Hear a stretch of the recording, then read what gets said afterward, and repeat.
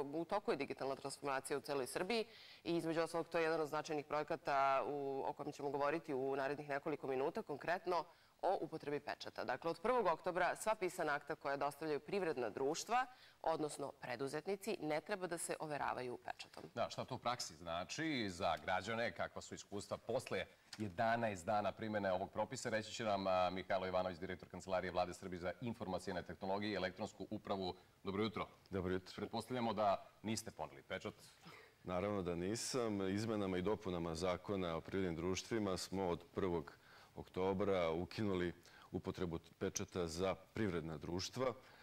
E, bilo je puno otvora, odmah da kažemo, i nije bilo lako. Naime, Od koga, ako već govorimo o pa, otvorima? prvo smo seli i rekli, ajde vidimo koliko je to zakona i podzakonskih akveta koji definišu potrebu korišćenja. I do koliko ste došli? Došli smo do 10 zakona i preko 100 podzakonskih akata. Jedno smo rekli da li da menjamo jedan po jedan akt ili ćemo jednim omnibus zakonom reći ovo sad više ne važi. Naravno da smo izabrali ovo drugo. Skupština je usvojila 8. juna zakon koji se primenjuje od 1. oktobra, dakle za sva privredna društva, privredne subjekte, e, preduzetnike i privredna društva više ne važi upotreba pečata. Ali sada postoji taj jedan zakon koji treba da promeni jeli, dugu tradiciju i zasigurno nailazite na izazove i na prepreke na, na tom putu. Sigurno, jedno je doneti zakon i reći dobro, ovo više ne važi, a drugo je šta se ono stvarno dešava na terenu i da li neko ipak traži privrednim subjektima korišćenje pečata. U kojim slučajima? Otvorili smo kontakt, otvorili smo kontakt centar, imamo jednu lepu e-mail adresu, to je ukidanje.pečata.gov.rs i molimo sve privredne subjekte da nam se obrate. Svesni smo da nije dovoljno samo doneti zakon, moramo to da ispratimo na terenu. Ljudi se javljaju, imamo na desetine poruka s konkretnim primjerima, recimo kod preuzimanja pošiljaka u pošti ili u komunikaciji sa Telekomom, kod e, potpisivanja ugovora, po inerciji veliki sistemi javne preduzeća traže pečat. Mi monjevito reagujemo. Proverili smo, svi su oni izmenili svoje unutrašnje akte, ali naravno na terenu se dešava nešto drugo i po neko po inerciji traži pečat. Mi monjevito e, reagujemo i delujemo i pratimo i suzbijamo, da kažemo, korišćenje pečata. Ali objasnite nam sada, ako ne koristimo pečat, na koji način se tačno overavaju dokumenti? E, potrebno je, naravno, da se identifikujete sa svojom ličnom kartom i e, svojeručnim potpisom. I zašto je sve ovo bitno? Zato što radimo tu digitalnu transformaciju. Ovo je samo jedan mali korek gde pokazujemo kako se naše društvo menja, e, digitalizacija prožima sve segmente našeg života, menjamo način na koji radimo, na koji učimo, na kojim živimo, poslujemo.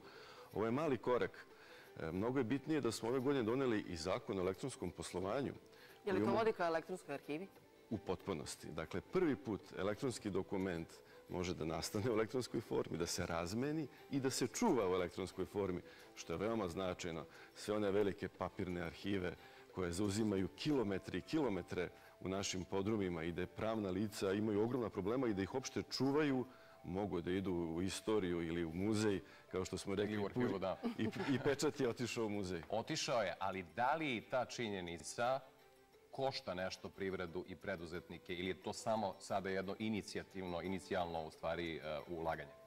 Zapravo njih e, treba manje da košta, ne moraju da vade pečat. Dakle, sva nova privredna društva i preduzetnici od 1. oktobra ne treba ni da prave pečat. Prilikom registracije u APR-u nije potrebno da prave pečat. Ovi koji su ga imali polako mogu da ga gase. E, valja ponoviti na koji način, odnosno kako mogu da se jave svi oni koji će sada kroz poslovanje nalaziti na eventualni problem zbog ove uredbe? Da, imamo jednostavno e-mail adresu ukidanje.pečata.gov.rs Vlada Republike Srbije prati e, sprovođenje ove akcije. Da li za sada bilo žalbi, e, da li stižu i šta pišu ljudi privrednici? Pa da, upravo ovo. Dakle, mi smo rekli kod preuzimanje pošiljaka, kod e, recimo davanja ponuda na javnim nabavkama, u svim tim slučajima nije potrebno da se stavlja pečat. Dešavaju se sporadični e, slučajevi. E, mi molimo sve one kad im se to desi da dokumentuju i da nam pošalju te primere na ovu e-mail adresu, mi ćemo vrlo brzo odreagovati. Digitalna transformacija u Srbiji je strateški projekat koji je podeljen u nekoliko segmenta. Mi sada već gazimo polako i ovaj drugi. Da li možemo negde već da ocenimo koliko dobro ide digitalna transformacija u našem društvu? Gde smo kao e-društvo? Na kakvom nivou? Mislim da idemo e, sjajnim, brzim koracima. Naravno, ne može preko noći sve ni da se uradi, ali da je ta digitalna transformacija i uopšte koncept koji promoviše premijerka Ana Brnabić uspela da dođe do svih pora naših društva. Menja se način e, na koji, na koji učimo. Deca su dobila informatiku kao obavezan predmet u osnovnoj šk- školi. Njima je sad to normalno e, da rade računarstvo, informatiku. E, U srednjim školama je pet puta više IT odeljenja ove godine upisano. To znači da smo potrefili e, na pravi način ono gde treba da ide naša zemlja kada je u pitanju i naša budućnost i razvoj privrede i ekonomije. I za kada predviđate da će se pojaviti generacije koje nikad nisu ni čule ni videle pečat? E, Pa ja vidim već te generacije, ali imam e, dva sina koji su u prvom razredu osnovne škole koji e, na, tabletu ili na laptopu već downloaduju razne igrice, igraju se, provode slobodne vreme. Mislim da te generacije već dolaze. Ovo je tranzicija u onom pravom obliku. Dakle, imamo generacije koje zaista treba tek da prođu kroz digitalno pismenjavanje i ovu omladinu koju čini se znaju bolje sve. I omladina će opismenjavati nas Da, malo starije, koji je. smo sada, jel te, već u srednjim godinama. Tako je, siguran sam da možemo mnogo da naučimo stvari mi od njih. Hvala vam najljepše. Hvala vam, hvala na gostovanju. Hvala na pozivu.